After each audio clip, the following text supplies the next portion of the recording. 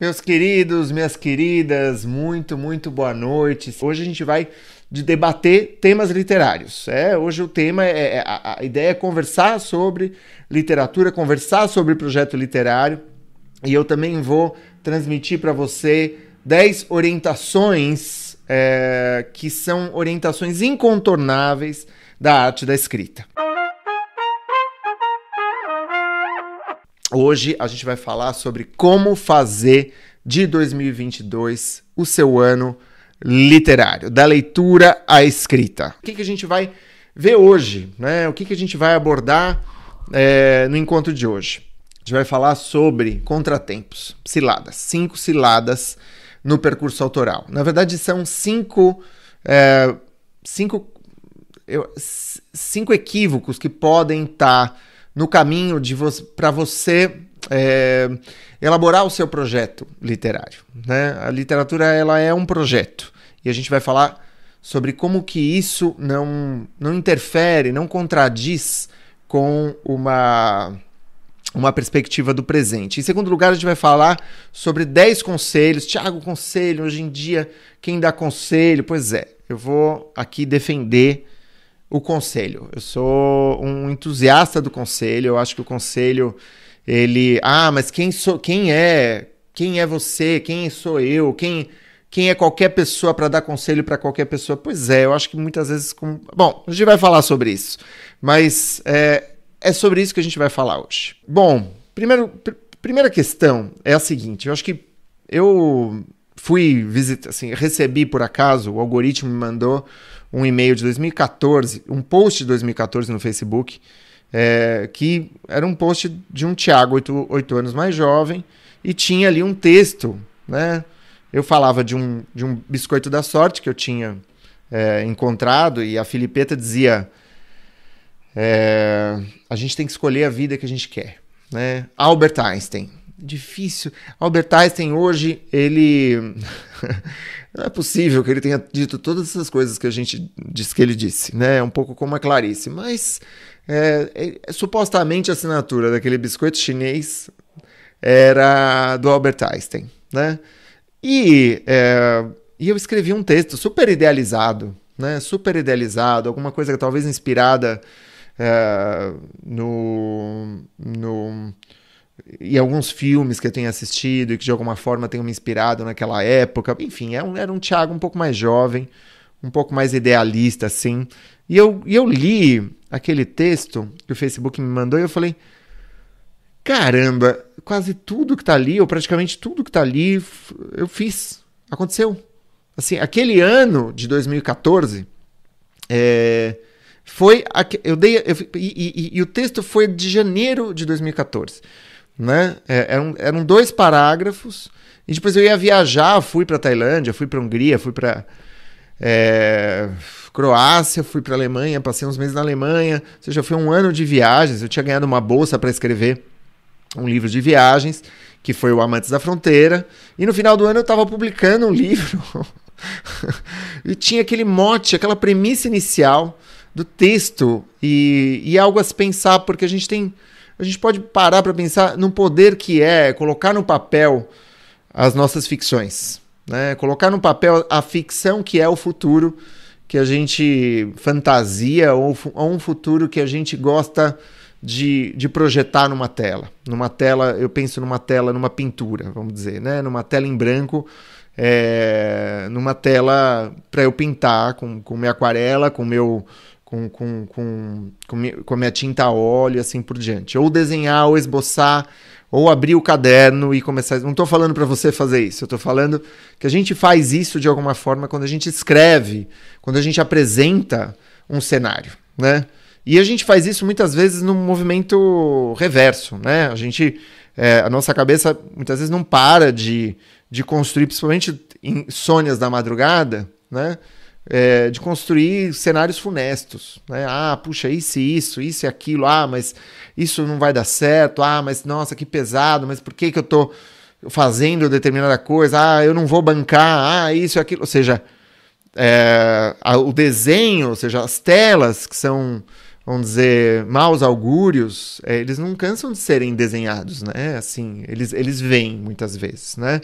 É, e, e, e, aí as, a coisa às vezes depende do quão, a, do quão a gente se assenhora do nosso pensamento na medida do possível. Né? Ninguém é senhor pleno do próprio pensamento, né? É, isso não existe, né? Mas, de alguma forma, você pode se assenhorar desse pensamento. E por que a gente está falando isso? Porque um projeto literário é um horizonte, né? É um horizonte, é um projeto, é, é uma, é algo que te leva a se projetar, né? É... E quando a gente pensa em projetos, a gente pensa em resoluções de ano novo, né? Em geral, as resoluções, vocês sabem, elas não vêm à luz do dia, elas não passam da terceira semana de janeiro, né? O pessoal diz que em academia, os estacionamentos da academia já começam a, a ficar. A, já começa a ter vaga de novo. No final do mês de janeiro já começa a ter vaga de novo. Né? E muitas vezes não é culpa, né? Não é culpa nossa, mas é culpa muitas vezes de um sistema que é falho, né? O que, que um projeto e para que, que a gente vai falar sobre isso. Para que, que eu vou pensar, afinal de contas, principalmente hoje, quando você pensa todo tudo que aconteceu nos últimos anos, assim, você pode pensar para que, que eu vou pensar em algo em algo, alguma definição possível, se nada do que eu faço vai de fato concretizar como eu idealizei, né? É... E, e é um pouco como eu disse, na verdade, quando a gente projeta, se a gente entende aquilo como um, um augúrio de, de, de, de cartas, ó, vai acontecer isso. Você vai ficar milionário quando atingir 34 anos. Se você entender dessa forma um projeto, a gente já tá, a gente está partindo errado, né? A gente já está saindo com o pé esquerdo, né?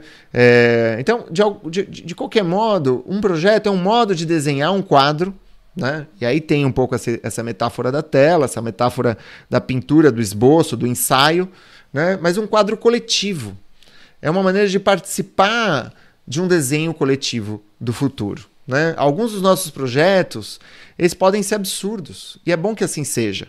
Né? Absurdo como, por exemplo, construir um submarino com seu filho, com seu sobrinho, com sua sobrinha. Ah, vamos construir um submarino? Projetos absurdos.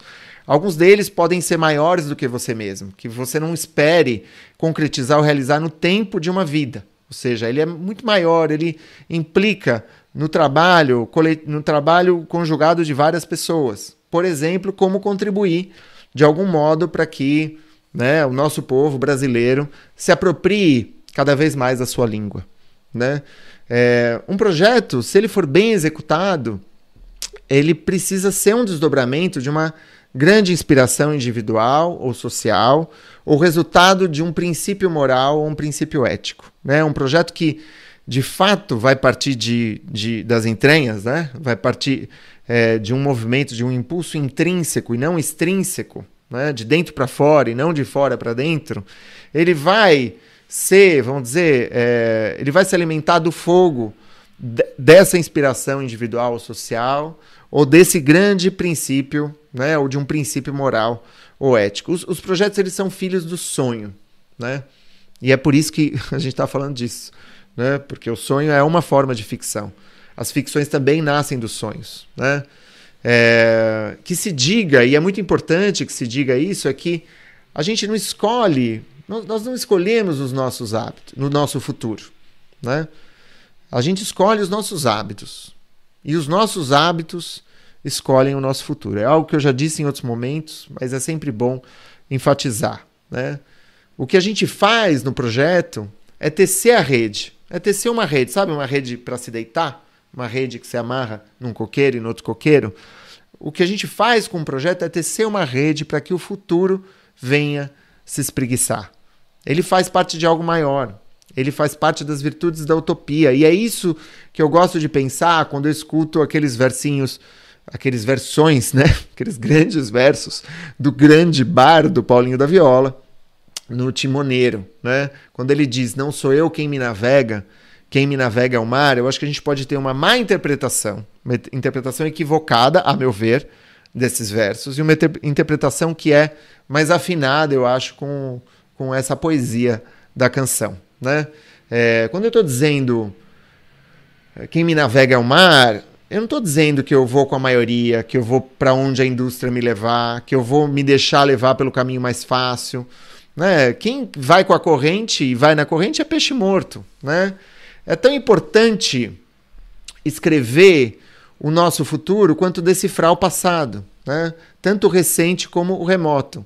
O mar, na canção do Paulinho, para mim é fluxo, é a entrega à paixão, porque o Paulinho sempre fala de paixão, não uma entrega à passividade na inércia. Né? E essa é uma diferença, gente, não sei se vocês reparam, mas é muito importante. Porque alguém pode dizer, não, eu, eu não tenho metas, não tenho projetos, não tenho futuro, eu me deixo levar e tal. Mas tem algo que é desse se deixa levar que é uma indiferença, né? Ou um sentimento de impotência disfarçado, uma certa um, um medo, né? Eu não vou chamar de covardia, porque covardia é um juízo moral sobre medo, né? Não é uma covardia, é medo, né? Com relação ao futuro, ah, e se não der certo, ah, não vai dar certo, então o que, que eu faço? Ah, eu, eu, quem me navega é o mar. Mas peraí, o mar, ele é o fluxo das suas paixões. Ele é aquele fogo né, que, é, que inflama as nossas vontades. Né? E tem muita gente que pensa, ah, eu, eu, eu prefiro o presente, né? eu, me, eu me atenho ao presente. Ora, é, muitas vezes, é, é, esses são dados que não são contraditórios. Quando eu, tô, quando eu me agarro ao presente, quando eu vivo o presente, eu estou vivendo o futuro. Eu estou vivendo o meu projeto. Por exemplo, quando eu ensino uma canção para o meu filho, ou para minha filha, ou para minha sobrinha, né? O que, que, é, que, que é um encontro pleno disso do presente com o futuro? Né? De uma geração com a outra, com uma ideia de continuidade. Se eu estou ali presente com uma criança, mergulhado no mundo dela, vivendo aquele. Porque a criança te pede, te chama né? o tempo todo. Eu estou falando de criança um pouco por isso. É, mas pode ser, bom, se eu estou lavando um prato, e eu posso lavar o prato de qualquer jeito, né? Assim, eu posso sempre pensar, não, eu só quero saber do futuro. Eu quero só saber das minhas grandes aspirações e tudo vai ficando uma bagunça. E tudo vai ficando pelo caminho. Ora, né, que futuro é esse em que a, em que a louça está suja? Né? Que futuro é esse em que está tudo encardido? Que, o que, que você está preparando se você não consegue é claro, e às vezes, gente, vocês estão entendendo que isso é uma metáfora, né? Sim, às vezes a gente não. A louça, às vezes, ela insiste em, em não se deixar limpar 100%. Eu não tô. Eu não estou dizendo, olha, arrume sua cama ao acordar. Não é isso, não é esse tipo de orientação, não, não é bem isso. O que eu estou falando é o seguinte: é, se eu escrevo hoje, se eu estou plenamente presente na minha escrita hoje, eu estou escrevendo o futuro. Né? Porque é esse o mar que eu navego. A gente esquece que para se deixar, se deixar levar pelo mar, a gente precisa construir um barco. Né? E a escrita é a construção desse barco. Um projeto é a construção desse barco. Né? É, então, a, a, quem me carrega é o mar, quem me navega é o mar, é, vamos dizer, um, um sentido muito bonito de dizer: olha, eu escolho o futuro que vai me conduzir. Né? E esse futuro vai ser muito maior do que aquilo que eu tinha pretendido originalmente. Né? Aqueles, aqueles dois parágrafos que eu publiquei em janeiro de 2014, eles apresentaram um cenário, mas aquele ano de 2014, onde eu me deixei levar, né? onde eu me deixei navegar, ele foi muito maior né? do que é, do que aqueles dois parágrafos. Né? Ele ditou, vamos dizer que foi uma premissa, foi um roteiro, foi o começo, um princípio, mas ele foi muito maior. Né? E aí, nesse sentido, eu acho que é tentar enxergar de uma forma mais desdobrada essa ideia de horizonte, essa ideia de projeto. E por que, que o projeto é importante, então? Por conta disso. Né? Agora, tem algumas coisas que fazem com que a gente não leve a cabo os nossos projetos. E é disso que a gente vai falar na primeira parte desse nosso encontro. Em primeiro lugar, projetos não são intenções, né? É, intenções elas são vagas demais. Por exemplo, ah, esse ano eu vou escrever. Tá. Então o chat, o WhatsApp vale como escrever. É, comentar texto no Facebook vale como escrever. O que, que é que o que, que é escrever, né? Ou ah, esse ano eu vou nadar mais. Eu vou fazer mais natação. O que, que é mais, né? Ou seja, projeto ele não pode ser tão vago. Né? Você precisa criar uma imagem mais precisa do seu horizonte. E nós, ficcionistas, né? ou não ficcionistas, mas nós, escritoras e escritores, temos um prato cheio. A gente pode acordar no dia seguinte, amanhã de manhã, né? e sentar e pensar: eu vou desenhar um horizonte. Né? Em terceira pessoa, talvez a terceira pessoa me deixe mais à vontade. Eu vou desenhar um horizonte, mas eu vou detalhar. Eu vou detalhar claramente que horizonte é esse. Eu vou brincar com os detalhes. Né? Então, por exemplo, é, é resoluções de ano novo, né? Ah, eu vou perder peso, vou comer mais saudável. O que, que significa isso? Você é uma pessoa melhor. tipo, como é que eu vou saber em dezembro se eu fui, se eu me tornei ou não uma pessoa melhor? Né? Assim, o ano, num ano eu sou visitado por ânimos, desânimos, sobressaltos. Todo ano é uma montanha russa, né? É, de alguma forma, ah, não, eu vou procurar o um momento ideal, o equilíbrio, não sei o quê. Ah, bom, cara, assim, é, é isso. Bom, a gente vai falar do, da ideia do factível e do não factível também, né? É, poupar mais, tipo, aprender algo novo, sabe? Ah, eu vou aprender uma coisa nova. O que, que, que você vai aprender? O que, que você quer aprender? Você não, é isso, você precisa se dar o trabalho de pensar o que, que você quer aprender.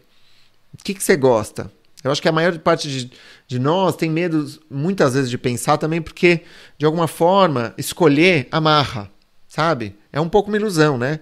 É um pouco não, é completamente uma ilusão de que se você escolhe determinada coisa, você está amarrado a ela. Não, é a tua liberdade que escolheu.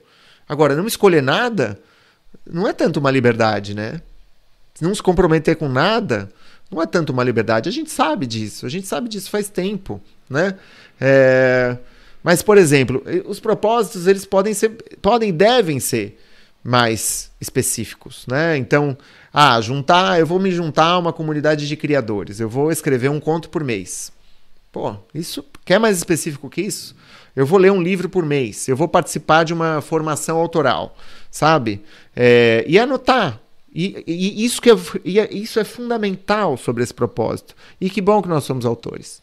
Porque é, escrever né, como aquele Thiago de 2014, é o caminho para tornar um projeto concreto, para concretizar esse projeto. Tem uma pesquisa de um, um sujeito, sujeito, chamado Gail Matthews, um pesquisador, investigador, psicólogo da Universidade da Califórnia. Ele fez um experimento com 267 participantes da pesquisa e ele descobriu, estudando isso, sobre a ideia de ter intenção, ter um projeto, ter uma resolução de ano novo e realizar ou não essa intenção. Ele descobriu que se você coloca no papel o simples fato de você colocar a tua resolução por escrito, aumenta em 42%. Aí um númerozão pra gente se deleitar. Né? Aumenta em 42% a probabilidade de concretizar um projeto. É impressionante, gente. Tipo, você não precisa fazer mais nada. Se você coloca no papel com detalhes em pormenor, você tem 42% mais chances de realizar o teu projeto literário. Né?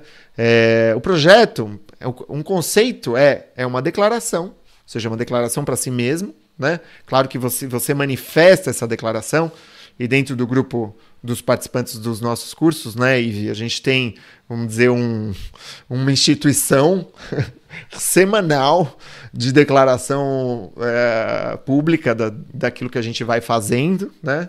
Isso nos ajuda a avançar, porque a gente vai retomando muitas vezes o, aquilo que a gente disse na semana anterior, na semana retrasada e assim por diante, e a gente vai avançando um pouco a partir dessa manifestação pública das nossas intenções daquela semana em relação à escrita. Né? Ou seja, projeto não é uma mera intenção, é uma declaração compromissada. Né? Segundo lugar, é, segundo equívoco, segundo vacilo é as resoluções, os projetos eles não podem ser chatos, eles não podem ser tediosos. Muita gente fala, ah, não, tem que fazer tal coisa, tem que colocar em dia toda a minha papelada financeira.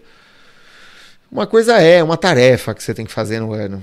Isso não é um projeto de ano novo. Desculpa, isso não é um projeto de 2022. Um projeto de 2022 precisa ser interessante. Precisa te ensinar alguma coisa. Precisa ser desafiador.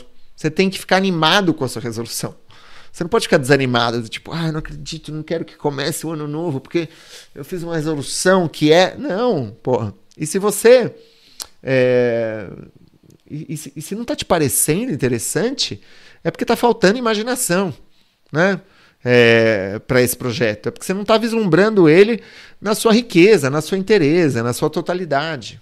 Então, de alguma forma, é isso. O, o, o objetivo, um propósito, um horizonte, não pode ser um, um algo imposto de fora, sabe? Ah, não, putz, vou ter que fazer isso. Não sei o que. Isso é uma tarefa que você resolve. Muitas vezes você pode falar, ah, eu vou comprimir tudo isso num dia, que eu tenho que resolver isso num dia, que eu não eu odeio fazer isso, ou você pode ver se você consegue eliminar tal coisa, você pode delegar determinada coisa. Né? Tem mil maneiras de se relacionar com coisas que são que não são agradáveis. Tem, muitas vezes é, é fazer, é circunscrever no tempo, falar, eu não vou me arrastar com isso. Mas enfim, não é disso que eu estou falando. Eu estou falando de bons projetos. Estou falando de projeto literário, né?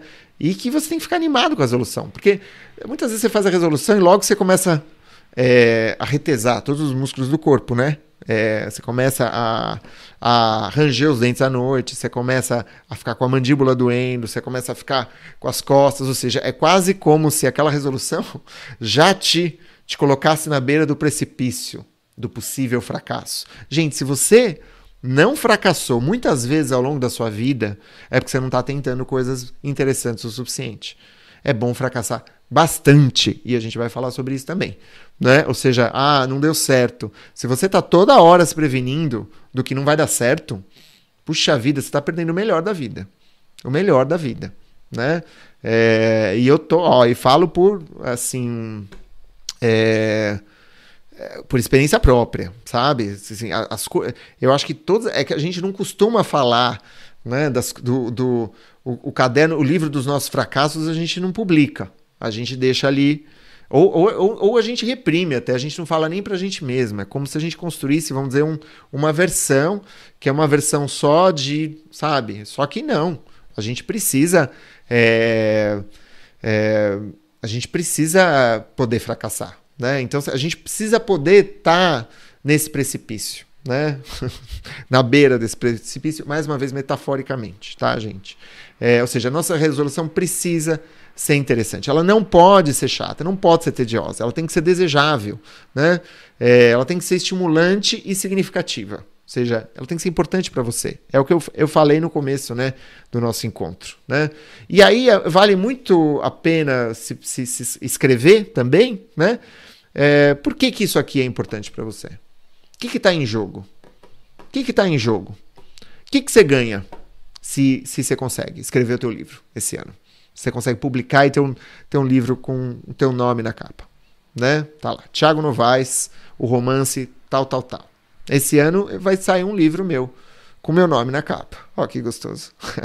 e eu, eu não sei. É disso, disso mil coisas vão acontecer. Porque sempre acontece quando você publica um livro, né? É, acho que tem pouca coisa que é, traz mais um, uma, sei lá, uma projeção de alguma maneira, do que um livro publicado, e não só, um bom livro bem publicado, né? É, livros publicados existem muitos. Agora, um bom livro muito bem publicado é, é mais difícil, né? E é, é, esse canal se dedica a isso, escrever bem, escrever melhor, escrever cada dia melhor, né? E publicar da melhor forma possível, tá? É, bom, em terceiro lugar, as resoluções, os projetos, eles não podem ser demasiado fáceis, é, resoluções realistas, ah, eu quero fazer uma coisa, meu projeto tem que ser muito realista, eles são superestimados em geral, né? É, primeiro que realista é chato. Ah, é muito realista, é muito chato. Você precisa de algo desafiador, você precisa de algo que te estimule, você precisa colocar um pouquinho mais ali no caldo, sabe? Você precisa ir um pouco além, né? Eu acho que tem, a gente pode definir três zonas né, de alcance da, das coisas que a gente projeta para a gente mesmo. Então, em primeiro lugar, você tem algo que é o familiar, que é o que você conhece. É você ir, sei lá, se deitar hoje à noite e ligar um, um videozinho do Porta dos Fundos. Isso é o teu terreno familiar, entendeu? Isso aí é o que você conhece, sabe? Isso aí não precisa. Ninguém fica, ah, eu vou, não vou, eu vou, não vou, num, para um churrasco Bom, agora com o Covid, com Covid muda um pouco, mas assim, você não fica até 2019, você não ficava. Ai, será que eu vou nesse churrasco com os meus amigos? Não, você vai. É, é, é o teu campo familiar, né? Aí existe um, um segundo, uma segunda zona de alcance, que é a zona do, do estranho, Né? O estranho é o misterioso, é aquilo que causa dúvida, aquilo que causa incerteza, é o que provoca medo, é o que provoca uma certa excitação, um frisson, né? É aquele encontro com uma parceira, um encontro com um parceiro, é aquele encontro com pessoas que você admira muito, que você não sabe o que, que vai rolar, é aquela palestra que você tem que dar, aula que você tem que dar, alguma apresentação que você tem que fazer no trabalho, e que você sabe que as ideias desse, dessa apresentação são importantes para você, tem a ver com você, e você fica com aquele medo, aí quando você vai, tudo, sabe, de alguma forma, sei lá, você se acha lá, entendeu? Então, assim, tem esse estranho, é essa zona, né, é, que você precisa alcançar nas suas intenções, no seu horizonte. É a zona, é, é, é a zona do estranhamento, né? Ou seja, você tem que sair da familiaridade e ir para o estranho, ir para o estrangeiro, né? O que, que vai além? O que, que seria algo que transbordasse isso? É talvez a, o quimérico. Né? O quimérico é a fantasia total, é ilusionismo, é o auto-engano, é algo como, é, vamos pensar, ah, eu esse ano eu vou aprender, sei lá, cinco idiomas. Não vou aprender cinco idiomas, não adianta, sabe? É meio jogar alguma coisa tão alto que no final das contas você nem vai buscá-la, porque ela é quimérica, ela é inatingível. Então, pouco importa também, porque afinal de contas é, é outra maneira de você se proteger de resultados desagradáveis. Eu acho que tem uma coisa que a gente, é, na psicologia haitiana, vocês já ouviram falar do Wilhelm, Wilhelm, William, William, Wilhelm Reich. É um psicólogo. É, e ele tinha um conceito que era de couraça, né? Ou seja, você você se endurece para se proteger contra. Bom, todo mundo reconhece isso, não precisa de conceito. É uma palavra é, um pouco mais rebuscada, um pouquinho rebuscada para dizer, olha, é uma proteção que a gente se dá para contra resultados indesejáveis. Eu faço várias coisas para me proteger, né? É, e a proteção, em geral, é pior do que o assim, do que o sentimento de fracasso. O fracasso é ótimo, o fracasso é o sinal de que você, o fracasso é, é você tentou. O fracasso não é fracasso, né? O fracasso é não tentar, né? É, fracasso é não se sentar para escrever. Fracasso é você nunca saber, entendeu? Fracasso não é escrever um texto ruim. Isso é sucesso. Porque um texto ruim é um texto que pede um melhoramento, um aprimoramento. Você sabe por onde ir, você sabe os caminhos a seguir. Se você consegue ler o próprio texto com um olhar crítico, né, com um juízo é, refinado, você vai, de alguma forma, decifrando os teus caminhos. É, é, e, e, tem uma coisa que é, e aí eu acho que a gente vai para o quarto, é, a, a, a, quarta roubada que é a resolução, ela não pode ser, o projeto não pode ser avassalador, né? Eu acho que falando um pouco dessa ideia do quimérico, do, né? O projeto não pode ser avassalador. Então, então, muitas vezes o mecanismo defensivo é eu me colocar uma quantidade tão absurda de projetos que eu não vou realizar. Teve uma vez que uma pessoa me buscou, me procurou e falou: Tiago, eu quero é, escrever uma trilogia, uma saga. E nesse ano vou, terminar o volume 1, ano que vem vou terminar o volume 2, no outro vou terminar o volume 3, eu já vou começar a assinar o contrato para a série é, que vai ser baseada no.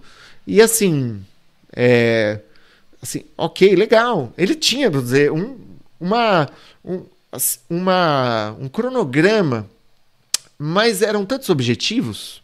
Não, era, eram, eram, eram tantas resoluções, e as resoluções estavam quase que, vocês veem, todas impregnadas em um, dois anos. Ok, de repente ele escreve uma saga. Isso é maravilhoso, ele poderia ter uma capacidade tremenda de escrever essa saga.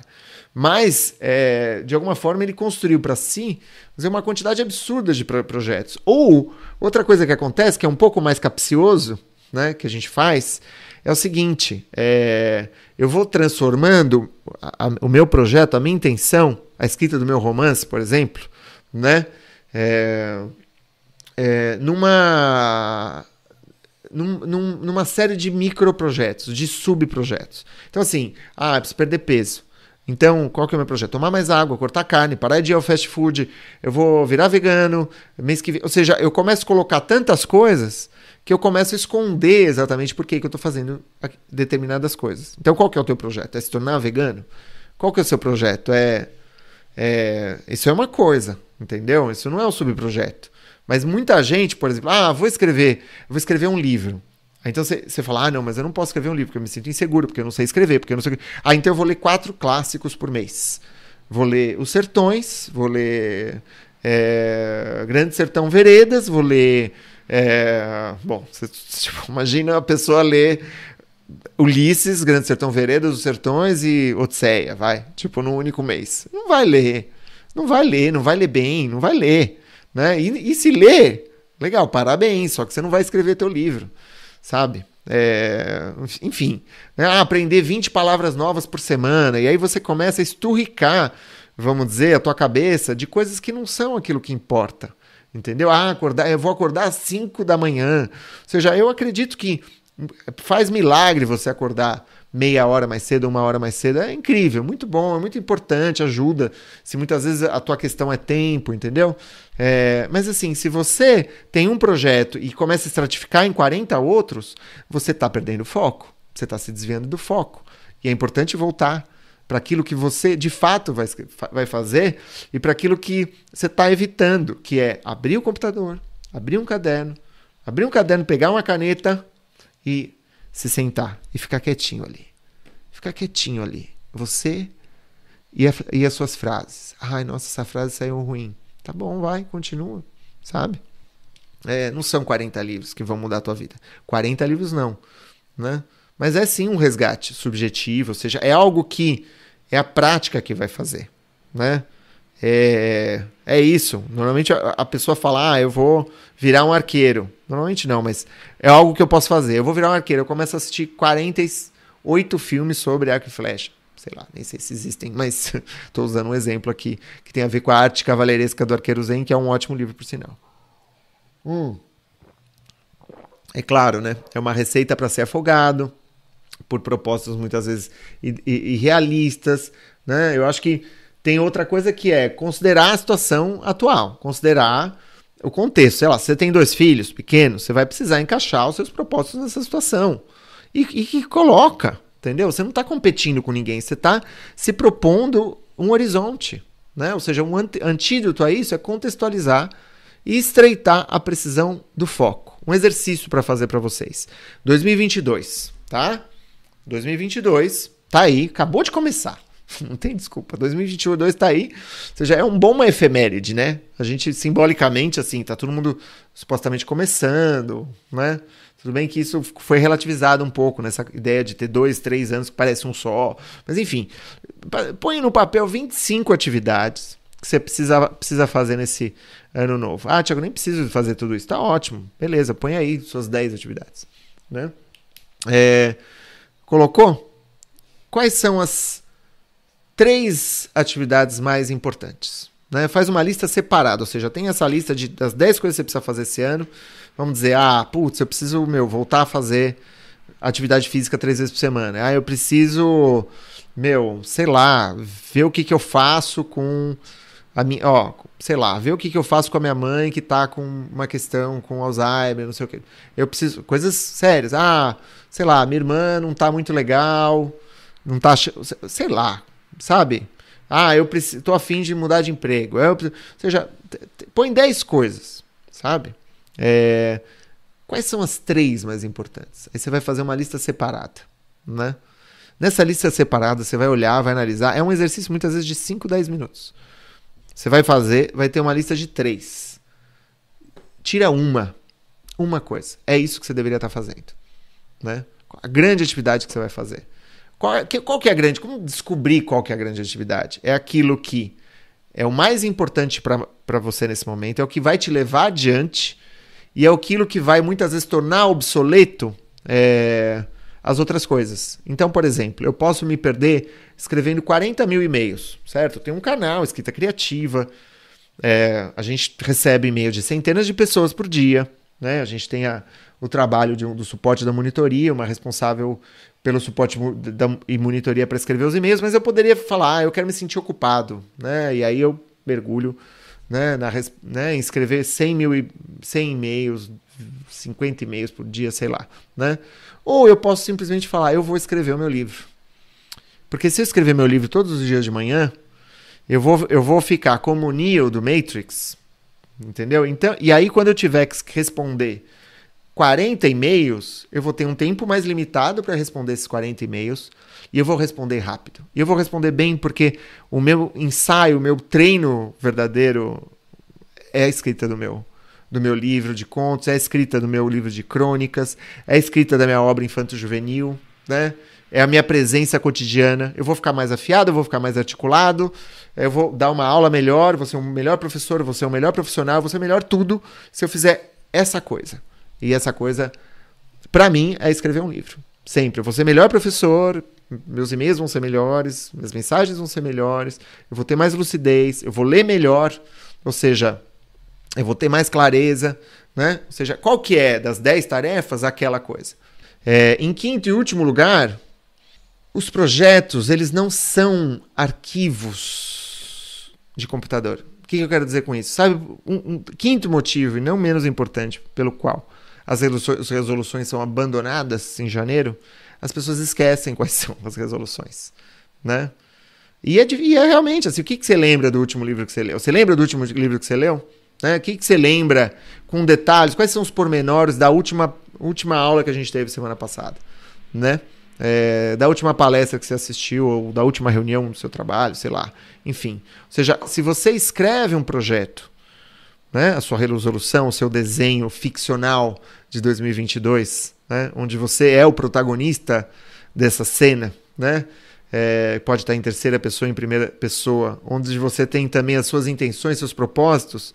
É, e se você colocar na gaveta, esquecer onde está, não vai valer de muito. Né? É, vai valer talvez para 43%, mas para as outras 57% não. Né? É, 57, 43. Ufa, acertei a porcentagem. A gente não é muito bom em matemática, mas enfim. É, então, é importante que você tenha um processo de revisão desses propósitos. Que você mantenha os propósitos à vista, entendeu? Toda semana. Não são tantas as semanas assim o ano, o ano passa rápido. Logo você vai estar falando, nossa, para onde foi esse ano? Daí você pode escolher, você tá com o livro nas mãos ou não entendeu? Tá com o original nas mãos ou não, né? Ou seja, você, tem que ter um sistema para poder nas cinquenta e tantas semanas do ano, poder ver os seus propósitos toda semana. Né? Pode ser analógico, pode ser digital, pode ser um sistema híbrido, é, é um aplicativo. Gente, a gente não está aqui para dar esses truquezinhos mínimos, mas é, isso é fácil de olhar. Ah, alguma coisa, um reminder, um lembrete. Pode ser, por exemplo, eu tenho um diário é, que é um caderno, assim, ó. É um caderno Muji, pautado. Eu, eu invejo quem escreve sem pauta. Eu não sei escrever sem pauta. Minha, minha letra fica assim, ela vai, tipo, ou ela sobe, cruza uma com a outra, e a minha caligrafia já é terrível. Então, imagina uma caligrafia que vai parecer um, sabe, é, a pulsação de um sujeito no hospital. Então, é pautada é o meu, meu diário. E eu aproveito todas as linhas. Eu sou um cara que é, eu aproveito o meu caderno, sabe? Então, assim, eu abro o meu caderno está todo impregnado. Então, ele leva seis meses, né? E ele se leva seis meses. É um caderno que dura seis meses. É um caderno que eu escrevo uma página por dia, um diário, né? Eu dou um comentário. Eu tive um sonho na noite passada. Eu escrevi qualquer coisa sobre esse sonho e tal. E no, no fim do caderno tem os livros que eu escrevi, os livros que eu li naquele ano e, e, e o meu projeto, a minha intenção. Na verdade, a minha intenção ela tá hoje em dia tão afiada que, em geral, eu não preciso dessa descrição. Né? É, então é alguma coisa que você pode fazer nos primeiros anos, mas em certa medida, um ano acaba sendo a continuação do outro se você está mergulhado de cabeça naquele que é o teu propósito maior da sua vida, sabe? É, então, assim, se eu for pensar, é, se eu colo e colocar importante tudo num lugar só, não em 40 lugares, né? E fazer uma reunião consigo mesmo de cinco minutos aí toda semana é, para revisar os seus propósitos. Sei lá, sabe? É, e só assim, né? Sei lá, o ano passado, ano de pandemia, pô, escrevi um livro, 25 episódios de podcast, né? tive um projeto financeiro que foi executado, mudei de país, né? Tava no Brasil, vim para Barcelona, ou seja, migração, que é uma coisa muito grande, né? Tem burocrática, tem todo um uma mobilização pessoal e tal, né? Então é por aí, pessoal. Tudo bem? Tudo bem? É, vamos lá, tudo certo? Muito pesado, muito, muito choque de realidade. É, e agora, o que, que a gente vai falar? A segunda parte da nossa aula é. A gente vai passar brevemente sobre 10 conselhos né, da leitura prescrita da arte de escrever. 10 conselhos. Ah, Tiago, onde está esse decálogo? É um decálogo que eu elaborei, Tiago Novaes elaborou a partir de algumas décadas de experiência com, com ficção e, e, e quase e 15 anos de experiência como professor de criação literária. Eu sou professor de criação literária desde antes de 2010, então 2007. Eu comecei a ser professor de criação literária, oficinas, em bibliotecas, em centros de cultura, no SESC, na Academia Internacional de Cinema, é, em vários lugares, em em muitos, muitos lugares. Eu tenho experiência que eu migrei, que eu transpus para essa versão, que é uma versão digital online, que também já faz bastante tempo, já faz mais de cinco anos.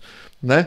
É, então, é, esse decálogo ele tem a ver com uma experiência decantada, é, não de uma pessoa, não de dez, mas de centenas de pessoas que eu acompanhei.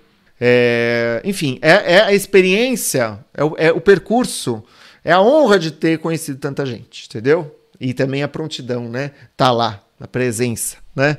É, e é uma alegria. É uma honra. Meu doutorado é sobre isso. Meu doutorado na psicologia da USP é sobre processos criativos.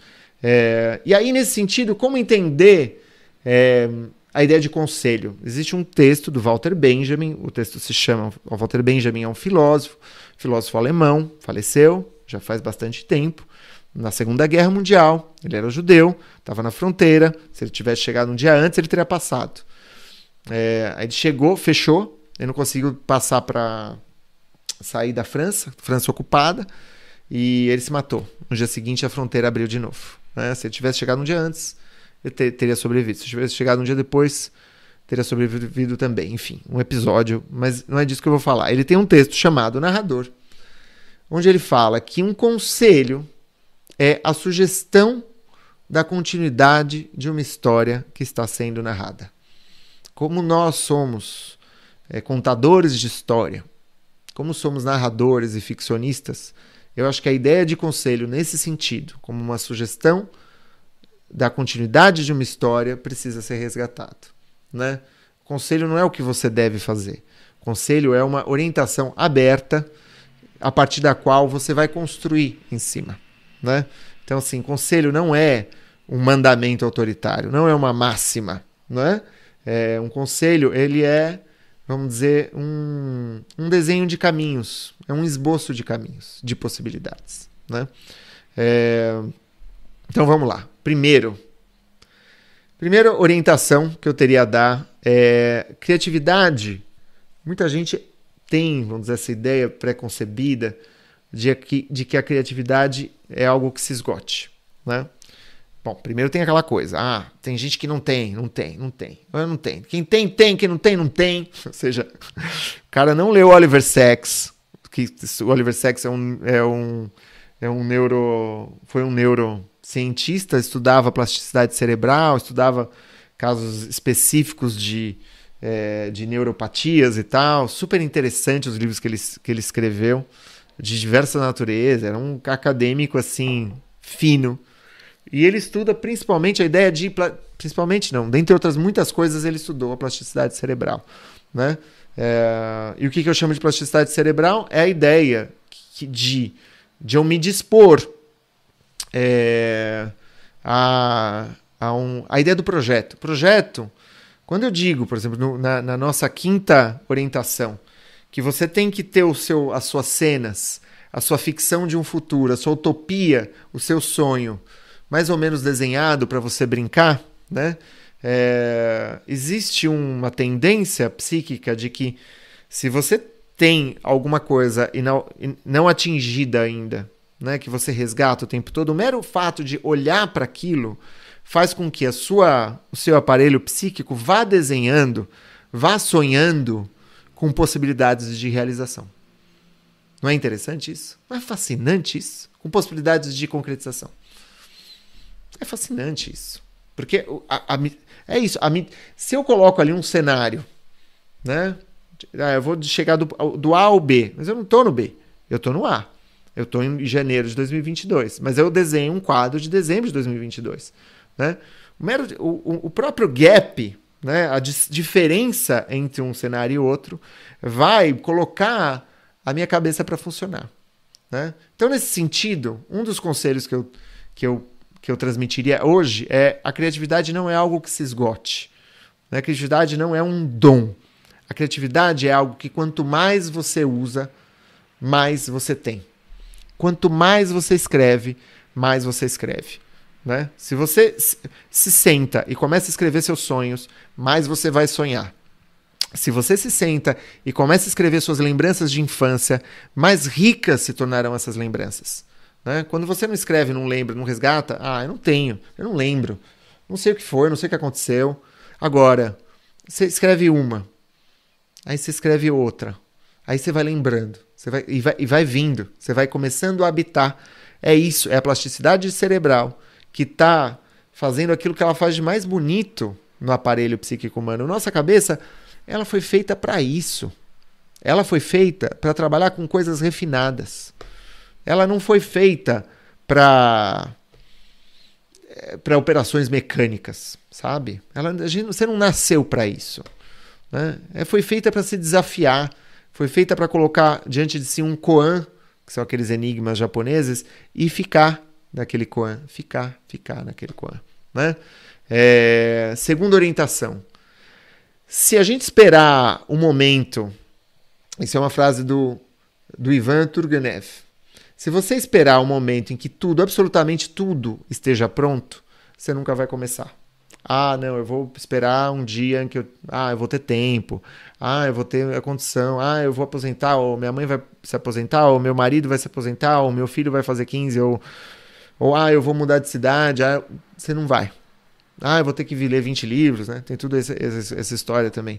Você nunca vai começar. Você jamais vai estar pronto. A gente escreve para estar pronto. Né? E a gente escreve para construir esse horizonte de estar pronto que nunca vai chegar. Né? Mas é, esse estar pronto é uma construção eterna. Né? É uma construção que nem é eterna, porque o tempo de uma vida é, é muito breve. Né? Então é isso, assim, a gente não, não pode perder tempo esperando ficar pronto, porque isso não vai acontecer. É, isso é mais uma forma, expressão do medo. Né? Terceira orientação: se você não está preparado, se você não está preparado para picar cebolas, você não pode pretender trabalhar numa cozinha. Não é muito louco? Eu amo cozinha. Eu sou meio fascinado. Assim, eu já li todo tipo de livro sobre gastronomia, sobre a vida de cozinheiros, né? Até que uma hora eu cansei um pouco também, porque a coisa virou uma espécie de febre, né? Você vai no Netflix, tem 40 séries diferentes e tal. E acaba virando um script um pouco batido, né? Tem uma certa divinização ali no negócio que você começa também a criticar um pouco a forma, né? E aquilo começa a te cansar um pouco. Mas é, teve uma época que eu quase mergulhei nesse mundo, assim, quase entrei nesse mundo. Falei, eu vou fazer um curso de dois anos de chefe de cozinha, é... ou seja, além da escrita. Tu tava louco, né? Mas ou não, né?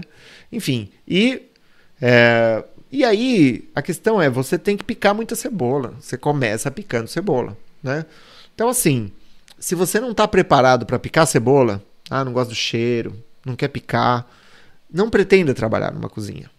Da mesma forma, e olha só, isso é duro. Se você não está disposto a sofrer rejeição, não escreva livros. Se você não está disposto a ter uma consciência de que tem gente que vai gostar e tem gente que não vai gostar, não escreva, sabe? Porque se você, se você aspira a, um, a, uma, a uma apreciação absoluta, talvez você não esteja, sabe? Agora, pensa bem, eu estou dando uma aula. Tem gente que gosta da minha barba, do meu tom de voz, tem gente que gosta do, da minha didática, do meu estilo de, de, de, de, de me aproximar da matéria. Tem gente que não gosta, mas tem gente que gosta. É? Se eu vou me agarrar ao, ao, ao negativo, não é? É, claro que eu posso me aprimorar, claro que eu posso pensar em exemplos, em contra-exemplos. É claro que a alteridade, o comentário, o diálogo, o debate vai me. Agora, eu não vou. Você entende o que eu quero dizer? É, vou, vou e sofri rejeições. Todo escritor sofreu rejeições. O próprio Itamar disse na entrevista que ele deu é, para mim no canal, no podcast do Prelo, né, o podcast do canal Escrita Criativa, quanto em outros lugares, ele falou: olha, é, a minha sorte foi ter sido, ter recebido um prêmio internacional, porque foi uma chancela para um, um livro que aborda é, a biografia de quilombolas ter sido publicado no Brasil, porque o Brasil está de costas para o Brasil. Você entende? Ou seja, ele está, vamos dizer, o que a gente tem que fazer é incorporar a realidade no jogo. Entendeu? Se a gente ficar só sonhando com uma realidade quimérica que a gente gostaria que o mundo fosse, para depois também ficar meio magoado, ressentido, que ah, a vida não é assim, a vida não é assado.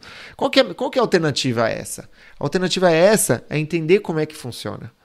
Entendeu? E saber é, se afirmar né, na tua voz, no seu estilo, o teu livro, do, do jeito que você é nesse mundo, né, da melhor forma possível. É essa a alternativa que a gente tem. Né? Ou seja, é se sentar e começar a picar cebolas, entende? Começar a picar cebolas. E falar, vou, vou chorar, vou chorar, vou ter que lavar a mão, vou tomar banho. Muitas vezes você passa o dia picando cebola, um banho não basta. Muitas vezes você sai do banho tá tá com cheiro de alho na mão, tá com cheiro de cebola na mão, né? É, e assim por diante, tá bom? Quarto toque. quarto, quarto, quarto conselho: escrever é cortar, é limar aquilo que está ruim. Né? Para escrever um bom livro é preciso também se reconciliar. Você vê que isso é derivado do terceiro conselho, de que muito do que a gente vai escrever vai ser uma, para não dizer palavra pior, porcaria, né? Não enfeita a porcaria, não nutra a afeição pela porcaria. Aprenda a ceifar a porcaria. Aprenda a tirar fora a porcaria. E a porcaria muitas vezes é um, não é uma porcaria, é só alguma coisa que não está pertinente naquele contexto, não encaixa naquele livro. Às vezes é, um bom, uma, é uma boa reflexão pessoal. Mas pode estar tá no seu diário. Eu encho diários e diários que são textos que não são feitos para serem publicados. Eles são para mim, eles são uma reflexão interna né? Ou seja, aprenda a escrever mais e a reconhecer o que é bom de tudo que você escreve. Orientação número 5. Orientação número 5.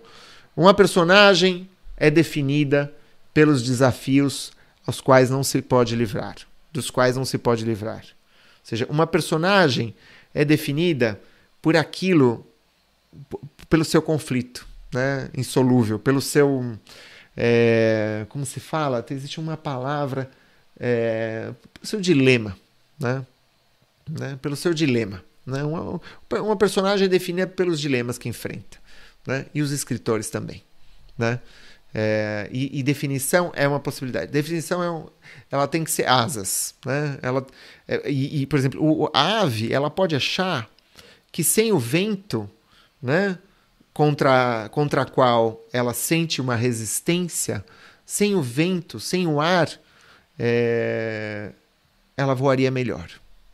E a gente sabe que sem o ar, sem o vento, não existe voo.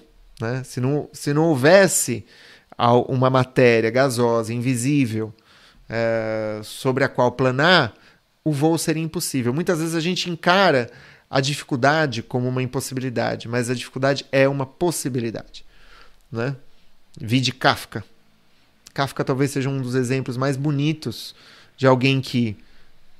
e mais trágicos também, de alguém que se debatia, se debatia, gritava de dor, e a gente enxerga o grito de Kafka como poesia. A gente hoje olha e fala: esse grito é poesia, esse grito é esse grito é o meu, né? É, então, nesse sentido, uma personagem ela é definida pelos desafios dos quais ela não pode se livrar, se livrar. E os escritores também. E cada um de nós carrega. Talvez quando você pense assim, a gente, você está me ouvindo, você vem alguma coisa. Vem, meu, esse meu complexo de inferioridade violento que eu carrego dentro de mim, sabe? Porque, meu, porque sei lá, porque eu sou filho de uma mãe solteira, porque eu tenho vários irmãos, porque eu não sinto que eu tenha sido olhada, que eu tenha sido olhado na vida, é, sei lá, sabe? Ou seja, cada um sabe do seu, né? Aí onde você vê uma ferida, onde você vê uma impossibilidade, é aí que reside a sua riqueza literária. É aí que reside a sua riqueza literária. É... E daí a gente pode pensar que o processo criativo ele é um processo de entrega, não de controle. Ele não tem a ver com, ah, eu vou fazer isso, eu vou, ah, eu vou determinar. Eu, não, não tem a ver com estratégia. Né? E aí eu acho que é bonito esse encontro entre o projeto do ano e a escrita do presente. Né? A resolução do futuro e a elaboração do agora. Né? Porque é, no, na, é no, na elaboração do agora que você vai se entregar né? Para aquilo que você projetou. Né? É no agora. É no ato de se esquecer muitas vezes do projeto é que você vai executá-lo.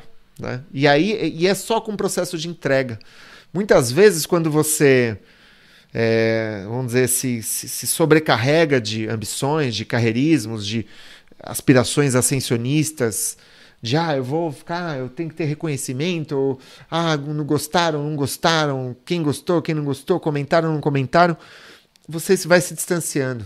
Né? Você vai querendo cercear, você vai querendo. Ah, o nicho. Porque qual que é a escrita de nicho que está vendendo mais? Ou seja, você está se amarrando, cara. Sabe? Então, assim, é uma entrega. E tem que ser um processo de entrega. Né? É, e para ir. E, e disso, vamos dizer, a gente tem o testemunho de grandes escritores. De grandes escritores que estão dizendo isso. Né? Falou: olha, no momento em que eu, eu desisti, eu venci. Né? No, no momento em que eu desisti, aí a coisa aconteceu, né? É, é quase uma coisa meio Yoda, né? Mas é um pouco por aí, tá? É, tudo na vida é passível da palavra escrita, se você tiver a coragem para fazer e a imaginação para improvisar. Tudo na vida é passível da palavra escrita se você tiver a coragem para fazer e a imaginação para improvisar. Vou dar um exemplo. Tô é, Estou lendo um livro do Haruki Murakami, um livro que talvez receba uma tradução em português logo mais. É um livro novo, é, mas estou lendo um outro livro em paralelo. Estou lendo alguns livros em paralelo. Eu deixei um pouco do. Mas tem um outro que é o do Stephen King, é, Senhor Mercedes. Não sei quem que eu. Mr. Mercedes, quem que já leu esse livro, mas eu vou falar assim das primeiras cinco páginas desse livro, é, que eu achei brilhantes. É um sujeito que pega, sai de casa com uma mochila, né, ele tem um saco de dormir, ele sobe num ônibus desses de madrugada, o ônibus deixa ele no centro da cidade, eles conversam, ele fala: ah, eu tô indo para vai abrir inscrição para um emprego, é, concurso para um emprego, tal. O motorista fala: nossa, com essa determinação, parabéns, hein? Tá, você vai conseguir. Só que aí ele chega já tem, vamos dizer, 30 pessoas na fila, né? E à medida que assim que ele chega, outras pessoas vão se acumulando atrás dele, né? E logo atrás dele tem uma moça com um bebê no colo, ela não, tem com que, não tinha com quem deixar o bebê, tá um frio terrível, a, a bochechinha do, do bebê tá queimada, vermelha de frio, e, e ela começa a observar né, um juízo crítico das pessoas em volta, e esse cara meio que ajuda ela, e, e ela tem que trocar a fralda do filho, da filha, e, e, e aí ela não sabe muito como, porque ela não pode tirar a roupa da criança, e aí ele cede, vamos dizer, ao saco de dormir. Olha, um sujeito que começa um romance numa fila de emprego. Olha só. O sujeito começa um romance numa fila de emprego. É um sujeito aberto para essa frase, que na verdade é da Sylvia Plath, que diz: tudo na vida é passível da palavra escrita. Se você tiver a coragem para fazer e a imaginação para improvisar. Né? Ou seja, ele não é um autor que está começando um livro com o sujeito abrindo o olho. Ah, abriu o olho, escovou os dentes. Poxa, aquela vida corriqueira. É a maneira mais comum de começar um texto. É essa. Né? Agora, o pior inimigo da criatividade, continua Silvia Plath, é a dúvida em relação a si mesmo. É o pior inimigo da criatividade. Tá? É, oitava orientação, essa é do Walt Whitman, que é seja curioso não seja moralista. Seja curioso, não seja moralista. Ou seja, tenha uma leitura um pouco mais generosa em relação às coisas. Né? E, e, e a curiosidade aqui tem a ver com a generosidade. Se abra para entender. Muitas vezes a gente chega e fala: Ah, não quero. Ah, não falo com adolescente. Ah, esses caras eu não aturo. Ah, esses são neofascistas. Ok, beleza, eu entendo que a gente tem posturas, posições, opiniões em relação ao mundo. Mas é legal que a gente possa também escutar, poder observar, para poder descrever, né? Para poder descrever, para poder entender, sabe? Seja, a gente, a gente vai descobrir né, o que os o que é muito difícil de reconhecer, é meio doloroso quando esses monges budistas falam que você deve perdoar todo mundo, né? que afinal de contas tô, você tem que imaginar todas as pessoas como se fossem crianças, né? cometendo seus erros, né, dando seus tropeções. Bom, tem criança aí que está matando, né? Então assim, e matando é, tem criança genocida, né? Nesse sentido, é, é difícil. Mas é, é, é só com essa perspectiva que eu consigo me abrir para um olhar que é singular para a escrita da minha prosa, né? É, que eu consigo escrever uma cena dessas como a do Stephen King, onde você vai construindo uma tensão dentro de uma tensão, ou seja, a tensão não é algo que você vai necessariamente escrever no teu no teu é, no teu painel de quarto com post-it, arco, desenho, ou seja, você pode e a, e a tensão está aí o tempo todo. A tensão é eu quero comer num restaurante mexicano, mas o meu companheiro quer comer, é, mas o meu companheiro está de dieta e eu cansei de comer salada, entendeu? Sei lá, entendeu? Ou, sei lá, ou meu pai, ou minha irmã não sabe o que é da vida, sabe? Eu preciso, como que eu faço? E aí eu encontro com ela, ela não me escuta. Ou seja, o conflito, as pessoas falam, ah, a ficção tem que ter conflito de fato, mas ele está em toda parte. Está em toda parte. E a gente tem que conseguir explorar, explorar. E para a gente descrever bem, narrar bem, a gente não pode ir lotando o nosso texto de adjetivos e já falar, ó, oh, sabe aquele esquema? Sabe aquela pessoa? Sabe aquele outro? Não, esmiuça, quebra, abre, ironia, um pouco de humor, um pouco de.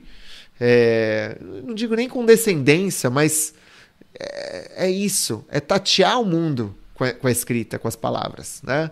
Escrever é tatear o mundo com as palavras, e para tatear o mundo com as palavras eu não posso delimitar um círculo só em volta daquilo que é meu, da minha identidade, do meu grupinho e falar daqui eu não saio e a minha visão do mundo é essa mesma e acabou, tá? Então, portanto, seja curioso, não seja moralista, né? Em nono lugar, escreva sobre o que te perturba, o que você teme, do que você não está disposto a falar. Escreva sobre o que te perturba, o que você teme, do que você não está disposto a falar, né? nossa, Tiago, mas eu vou ter que escrever sobre aquilo que eu não estou disposto a falar. Muitas vezes a gente escreve aquilo que é mais doloroso. A gente descobre que a gente precisa escrever aquilo que é mais, por exemplo, ambientar uma cena, começar um romance com uma, com, com uma entrevista de emprego, uma fila de desempregados durante a madrugada num frio invernal de negativo, né? Um inverno de temperatura negativa. Poxa, para muita gente é falar, meu, puta, meu, os caras não vão ler meu texto, mas depende de como se aproxima. Depende de como você descreve. É algo que perturba. De repente você já passou por isso. De repente você tem um irmão que já passou por isso. De repente seu pai, sabe? É, é um cara que sempre tentou levar comida para mesa, sabe? É um cara que, ou seja, é um cara que sempre bebeu muito, mas que você de alguma forma perdoa ele, mas não perdoa. Tem um ressentimento, mas se entristece sempre que você pensa nele. Ou seja, é algo que te perturba, né? É faça um, do mau negócio um bom negócio. Isso é a minha supervisora de, de orientação psicanalítica, ela falava. Fazer que certos pacientes faziam de um mau negócio um bom negócio. É, e em décimo lugar, escreva o livro que você gostaria de ler. Olha que legal. Escreva o livro que. Puxa, essa orientação é ótima. Essa orientação é ótima, porque ela muitas vezes nos previne. Lembra que a gente falou das bad trips? no nosso primeiro encontro de janeiro, escrever sobre um livro que você gostaria de ler é olhar e falar: o que, que seria? Nossa, eu posso fazer tal coisa. Sabe? Não é falar, ah, não, é assim que está saindo, então é assim que vai sair e tal. Não, calma. Vai escrevendo, mas vai falando, e se eu. Puxa vida, sabe? É poder, vamos dizer, você é responsável por sensualizar a sua relação com o teu livro. Sabe? É como uma relação conjugal. Sabe? A relação conjugal com o livro, muitas vezes, é, um, é uma relação de longa duração. Né? É, e você é responsável por sensualizar essa relação. Se você banalizá-la, entendeu? Você também é responsável por isso. É você que fez. Ah, foi assim. Ah, é o que rolou. Mudei de livro, entendeu? Esse outro livro, nossa, muito mais gato. Tipo, nossa, eu sinto. Olha, tá lindo de longe, não é? Nossa, essa, essa, essa, troca de mensagens aqui no Instagram, no DM. Gente, ele parece incrível nas fotos do Instagram. Stories, tá demais. Só que não, cara, sabe? Vai lá, volta lá, sabe? Você, você que vai é, ressensualizar a palavra, você que vai ressensualizar a narrativa. Então, escreve o livro que você gostaria de ler. Não vai ser o próximo, é esse aqui, é agora. Minhas queridas, meus queridos, um grande abraço a todos e a gente segue essa conversa. Até mais. Tchau!